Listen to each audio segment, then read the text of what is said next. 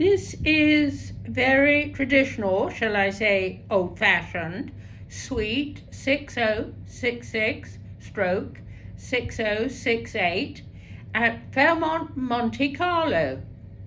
But look at the makings for the future. I am looking out at this absolutely glorious seascape. Sometimes there must be marvelous sunsets here. So you see, this is what it's like at the moment.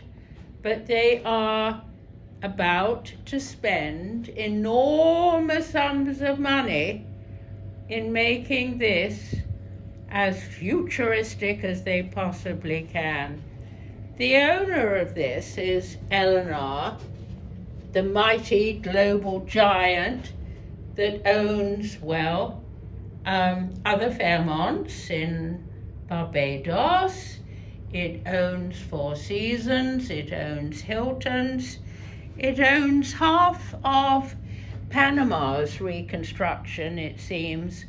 And knowing Ian Livingstone, one of the two owning brothers of L&R, which stands for London and Regional, by the way, I personally can be quite sure that this property will end up as a Fairmont for the future. It's got the theatre to be able to take the performance right forward. And I'm longing to see it again when it's all done.